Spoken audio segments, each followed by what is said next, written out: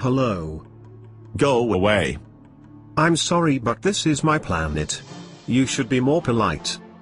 Actually, it's my planet. Hold on, I've been living here for years. You've just arrived. No, I haven't. Yes you have. I just saw your spaceship land.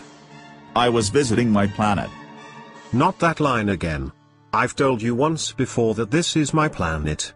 It is you who should leave. Actually, you should go. Oh dear. Which planet do you come from? I forgot. Well, you have one head, two eyes, two ears, one nose, two arms and two legs so I think you are from Earth. You are a human.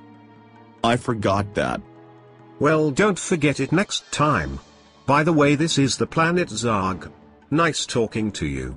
Hope to see you again soon. Bye for now.